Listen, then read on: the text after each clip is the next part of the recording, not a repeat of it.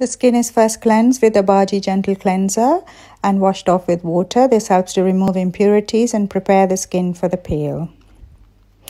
The pre-peel solution is a solution to help to get the skin at the right pH to accept the peel. Blue peel radiance is then applied in a systematic manner, avoiding the eye area. The skin can feel a little bit tingly once it's left on for about 8 to 10 minutes and sometimes we tap on the skin to reduce this sensation. The peel is removed with Obagi Gentle Cleanser again and water.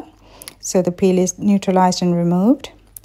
Then a hydrate moisturizer is applied to uh, hydrate the skin.